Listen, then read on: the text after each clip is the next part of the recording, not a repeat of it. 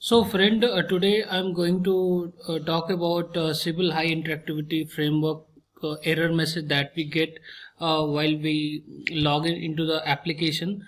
So uh, there are uh, four steps involved to solve this problem. step one is add application URL to trusted site list. So we need to go to the Internet Explorer, Tools, Internet Option and Security here we have a trusted site list.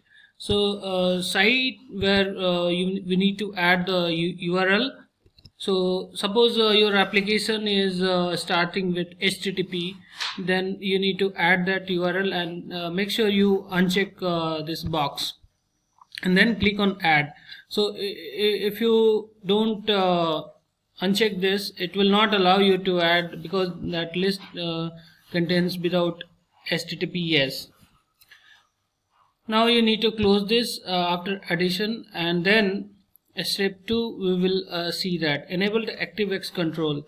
So uh, again here we need to uh, go to internet option. We have custom level. Uh, scroll down to uh, ActiveX controls and plugins. So by default it will be disabled. We need to enable it.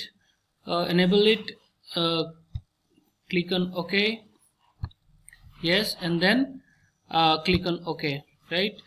Now once we are done with that uh, we need to uh, try log into the application. If some part of the application doesn't get uh, loaded completely then we need to add the same URL uh, into the uh, compatible list site okay so we have added the application URL into compatible view setting now if uh, step uh, 3 also uh, doesn't work. So basically before going to uh, step 4 we need to uh, close the browser clear the uh, cache and cookies and then try launching url and application.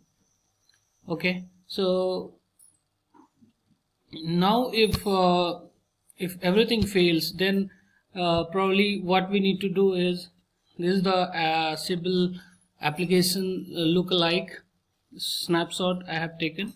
So basically uh, when uh, still you are getting the error message then we need to hold the control key of keyboard and then click on arrow button. So probably you will be able to uh, lock in into the application. So guys uh, I, I, am sure uh, this will help you if you guys find it useful please comment it and uh, like it share it and don't forget to subscribe our channel. Thanks very much for watching